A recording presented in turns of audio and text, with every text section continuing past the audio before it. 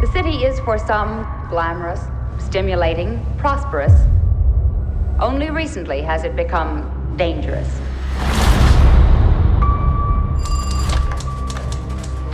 Jack, I think I found something. Three women were strangled over the last two weeks. You're on the lifestyle desk. You're not covering a homicide. I think the murders are connected. Another woman was strangled. Just came over the wire. I'm killing the follow up. You don't have a story. How many women have to die before it's a story? They just confirmed number four. Police aren't talking. Never seen them this tight lipped about anything. I don't care if it's one killer or four. We're gonna catch whoever did this. Do you have any suspects? Boston police, hands on the wall. We had him. We just let him walk away.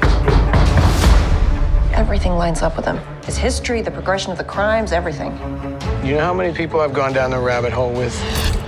It's a dead end every time with this case. What do you think you're gonna find out there? When is this gonna stop, Loretta? I need you to call in a favor. Be quick. I don't want to get fired tonight. Any lawyer worth a dime would pick this apart. You really want to use this paper to tear down the police department? If anyone else was blowing it this badly, we'd have put it on the front page a long time ago. I need you to take down an address. If I don't call back in an hour, give it to the police. Loretta. There's more than one lunatic out there, and you're gonna get us both killed.